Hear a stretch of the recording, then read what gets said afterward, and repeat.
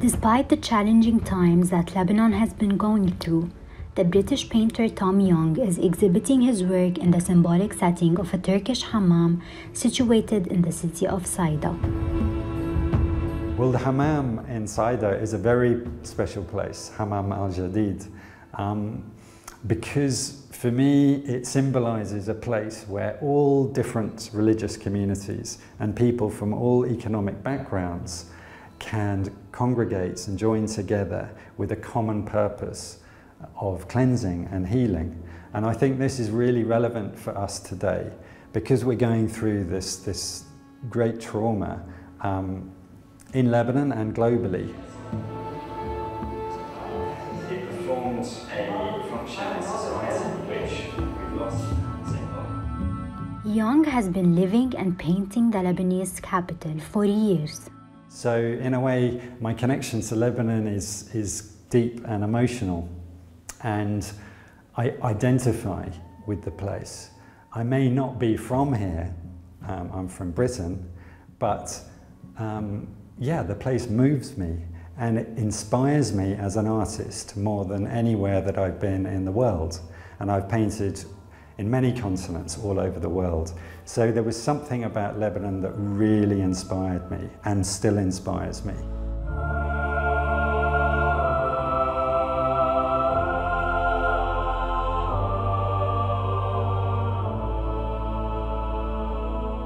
Fascinated by the traditional architecture at first, Young couldn't help but shift his focus onto the events that have swarmed the city starting with the 2019 revolution, also known as the Thawra.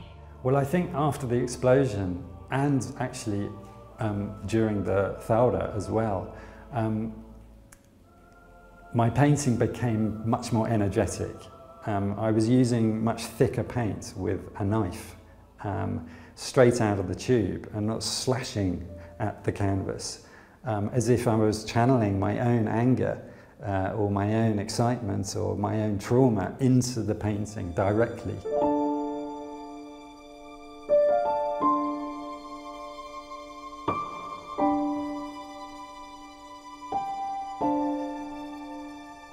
His paintings have chronicled what's been happening in the city as he feels a responsibility to capture Beirut's historic events.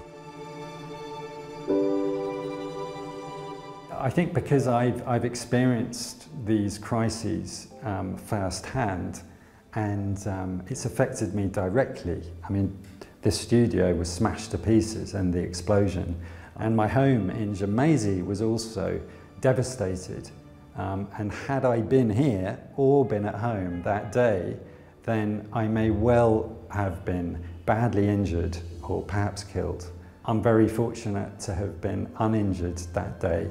But yeah, as an artist, I feel like I, I, I, I want to tell the truth about what's happening.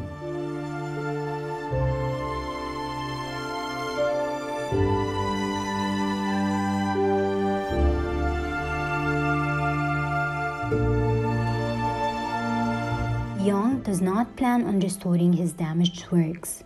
He says those wounds put the pain in the word painting.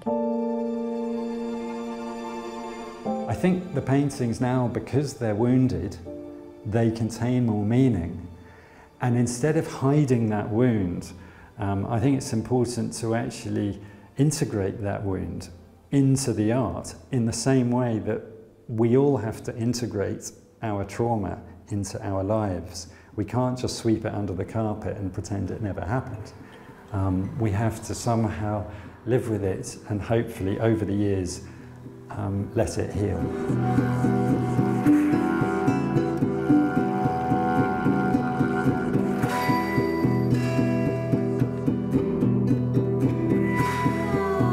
Indeed, many Lebanese need to cope with the trauma they have lived through. In a way, art has become the outlet that both painters and viewers are healing through. Rola Brosh, TRT World, Beirut.